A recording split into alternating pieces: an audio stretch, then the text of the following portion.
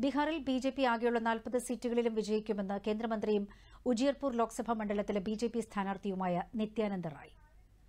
ഉജിയർപൂരിൽ നാല് ലക്ഷത്തിലധികം വോട്ടുകൾ ബി ജെ പിക്ക് ലഭിക്കുമെന്ന് പറഞ്ഞ റായ് എല്ലാ ജനങ്ങളോടും വോട്ട് ചെയ്യണമെന്നും അഭ്യർത്ഥിച്ചു.